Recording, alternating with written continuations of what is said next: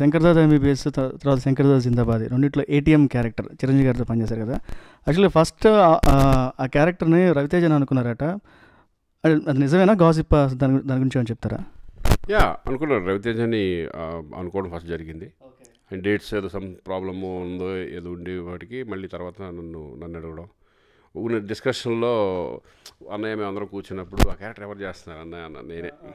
ఎవరు చేస్తున్నారంటే ఏ చేస్తావా? అన్నారు ఇంక అంతకంటే కావాల్సింది ఏముందండి డెఫినెట్ చేస్తాను. చాలా మంచి క్యారెక్టర్ అది.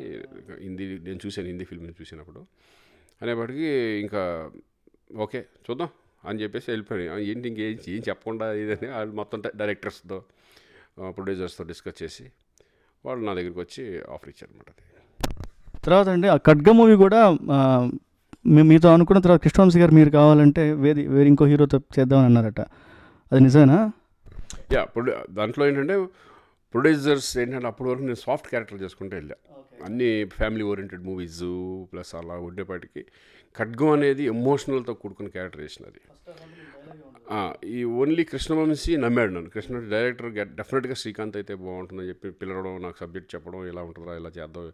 నీకు ఇంతవరకు మొత్తం ఇమేజ్ మొత్తం నువ్వు ఏదన్నా కాన్ఫిడెన్స్ వచ్చేస్తుంది ఖడ్గం ఈ క్యారెక్టర్ అనేవాటికి డెఫినెట్గా హండ్రెడ్ పర్సెంట్ నేను చేస్తాను వంశీ అని చెప్పేసి. అప్పుడు నేను ఏంటంటే పీక్లో అంటే ఫ్యామిలీ ఓరియంటెడ్ ఫిల్మ్స్ ఎక్కువ చేసుకుంటే వెళ్ళాను అనమాట ఆ, అనేప్పటికీ ప్రొడ్యూసర్ వచ్చి విన్నప్పుడు ఏంటి నీకు ఏమన్నా మతిపోయిందా వంశీ? శ్రీకాంత్ ఫ్యామిలీ సబ్జెక్ట్ని పెట్టుకొని నువ్వు ఎలా అతన్ని ఎలా అనుకున్నావంటే లేదు లేదు నాకు కాన్ఫిడెన్స్ ఉంది దాని మీద. ఎందుకంటే పాత బస్తీ అని కొన్ని ఎమోషనల్ ఫిల్మ్స్ చూశాను నేను అతని నాకైతే నమ్మకం ఉంది ఎట్టి పరిస్థితుల్లో నేను శ్రీకాంతే కావాలని. లేదు లేదు వేరే వాళ్ళని పెడితే నీకు రెండు కోట్లు ఎక్స్ట్రా ఇస్తాను ఇంకా బాగా ఖర్చు పెట్టుకుంది కానీ నాకు అక్కర్లేదు నువ్వు ప్రొడ్యూసర్ చేస్తావా? చెయ్యి. లేదంటే నాకు ఇంకో ప్రొడ్యూసర్స్ ఉన్నారు. వాళ్ళని పెట్టుకుని చేస్తాను అని చెప్పేపాటికి ఇంకా అతను కూడా ఏం అనలేక ప్రొడ్యూసర్ కూడా సైలెంట్గా ఉండి ఇక సరే నీ ఇష్టం అని చెప్పేసి అలా చెప్పారనమాట అంటే ప్రొడ్యూసర్ పాయింట్ ఆఫ్ వ్యూలో ఏంటంటే వాళ్ళకి బిజినెస్ క్యారెక్టర్ ఎమోషనల్ క్యారెక్టర్ కదా. అది. అది ఏమన్నా అటు ఇటు అయితే కనుక సినిమా పోతుందనే బాధ అనేది హండ్రెడ్ పర్సెంట్ వాళ్ళకు నా ఎదురుగుండా డిస్కషన్ అది. మురళి మధుమురళి. శంకర మధుమురళి. మధుమురళి నీ ఇష్టం. మీరు ఎలా ప్లాన్ చేస్తే అలా చేయండి. నేనైతే చేస్తాక రెడీ.